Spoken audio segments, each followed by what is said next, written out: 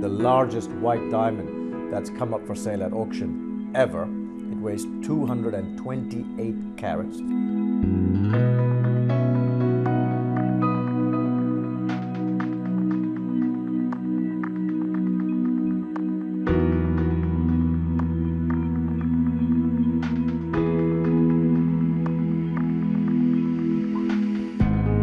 Me, it's unique and irreplaceable. The brilliance of the stone, the cut of the stone, the color of the stone, the clarity.